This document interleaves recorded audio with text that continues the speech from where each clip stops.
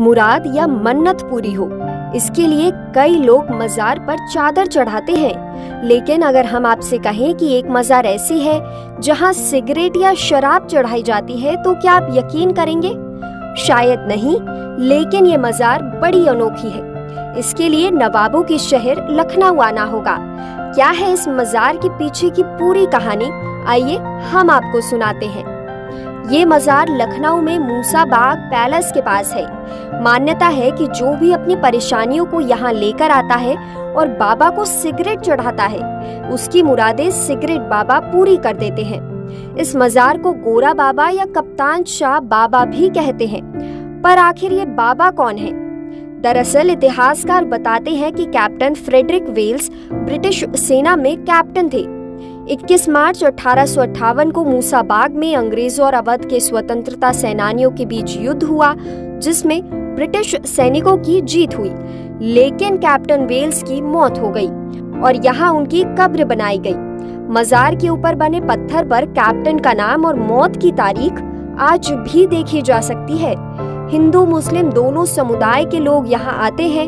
चूँकि Wales cigarette का बहुत शौकीन था यही वजह है कि यहाँ सिगरेट चढ़ाई जाती है। मजार के सेवक मिश्री लाल ने बताया कि गुरुवार को यहाँ सबसे ज़्यादा भीड़ होती है।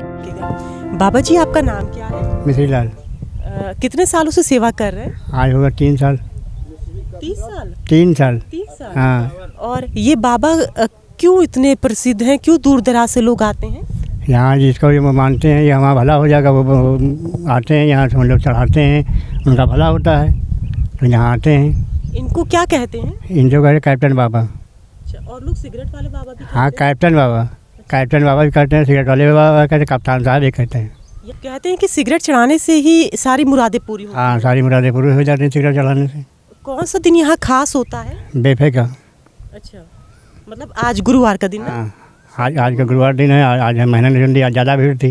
अच्छा लगभग कितने लोग आ जाते होंगे यहाँ? यहाँ कम से कम दो तीन हज़ार आदमी तीन चार चार हज़ार आदमी। एक दिन में? हम्म। न्यू ईयर और क्रिसमस पर यहाँ कदम रखने की जगह नहीं होती। ऐसा कहते हैं कि जिस प्रेमी जोड़े की शादी ना हो रही हो वो यहाँ आकर सिगरेट चढ़ाए तो उनकी शादी हो जाती है।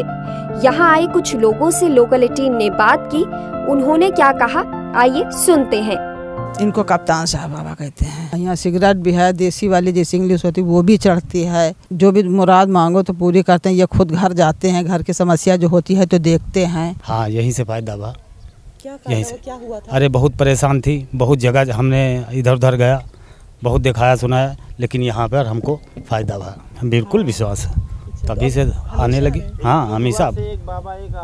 हमेशा आ रहे हैं हर जुमेरात को यहाँ आएँगे ज़रूर। आपसे हम सुबह कोई चीज़ कोई पैसा ऐसा नहीं लेने से ठीक हुए। अच्छा। जी। बिलाल बाबा आते आज हाँ। वही हमका ठीक करे। है इनकी सबकी दुआ से रहे। हम्म। हम आपको इस मजार तक पहुँचने का रास्ता भी बता देते हैं। बालागंज चौराहे से आपको हरिनगर चौराहा आना होगा। मजार पर पहुँचने के लिए आपको ई रिक्शा आसानी से मिल जाएगा। गूगल मैप के ज़रिए भी आप इस लोकेशन पर पहुँच सकते हैं। लखनऊ से लोकल एटीन के लिए अंजलि सिंह राजपूत की रिपोर्ट।